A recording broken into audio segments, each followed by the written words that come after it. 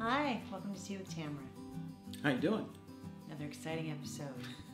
what will they say today? we just don't know sometimes. Sometimes we most of the time. it. Most of the time. But you know, we live our life like improvisers, the improvisers that we are.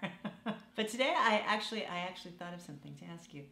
Are there things that I I have brought to our relationship that were new new to you? Like it's things that you didn't normally do growing up or as a person you know normally. Like you're like oh yeah i don't do much of that. And and i i brought that into the into the mix so to speak. Hundred percent. you know? Yeah. um that that brought either i guess it could be a good thing or it could be a bad thing i mean i guess i'm looking mainly for the good thing Yeah, I'm- I'm not going to bring up, even if I could think of any, I wouldn't bring up any of the bad things. Yeah, you, uh, well, uh, one thing I noticed definitely when we, especially when we moved back to Los Angeles, yeah was that you would go, hey, there's this music concert at the Bowl or at some other venue. Oh, do you want to get tickets to that? And that is something that I never ever thought about.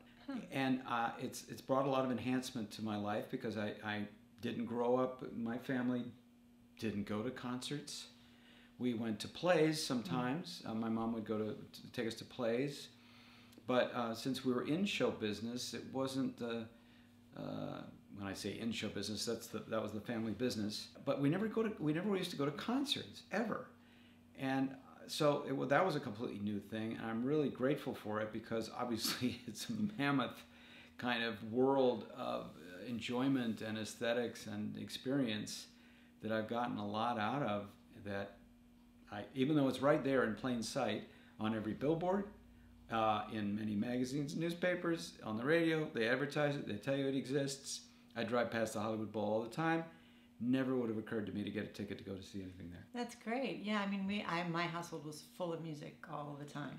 I was actually just talking to my mom about this the other day because we went to see the musical Hair, you and I, down at, at the Old Globe, and and she said I, we were talking about it because I grew up. I know all of these songs. I was singing them probably when I was seven years old.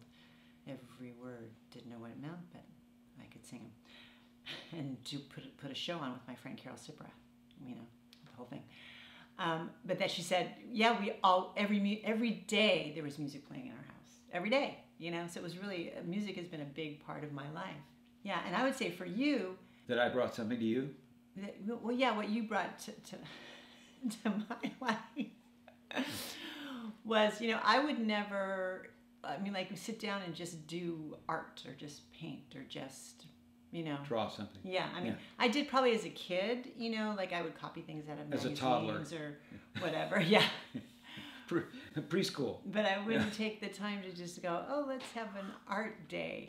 And we started doing that in New York. I remember, you Mm-hmm. know, like we'd get out the Sculpey and we would make things with Sculpey and, you know, or we would just create something, you know. But that was the Sculpey thing. And Sculpey is a kind of a clay that, uh, that comes in different colors that you harden in the oven. And, and we did that out of necessity because we were broke and needed to get some people some Christmas presents.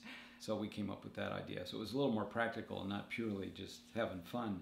well, we had some, we made some fake teeth with them and those were pretty. That's true. That's true. Before I graduated into the world of professional fake teeth. But yeah, now we like to. I, I love to do that to sit Yeah. down, and that's what I used to do as a kid. I used to go up the street here to sit at Eldridge Adams's uh, in his kitchen, and we would get out, uh, you know, paper from just typing paper, and he would draw ants, and uh, they weren't ants; they were people that were about the size of ants, and I would draw little things that I wanted to draw, and that's what we would do for fun, and it's Yeah. it's very therapeutic. So I'm Oh. glad that I brought that to you. It is, yeah. It's like you know, so it's nice.